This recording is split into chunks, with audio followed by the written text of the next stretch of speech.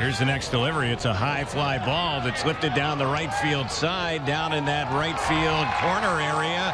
That one is gone. Steve Lombardozzi has hit the second home run of the day for the White Sox, and that will put them on top. It's now 5-4 Chicago. Well, you come into the game, you try to make the team as a backup, and immediately you fill your position well and put a little charge on this one here. Good solid swing.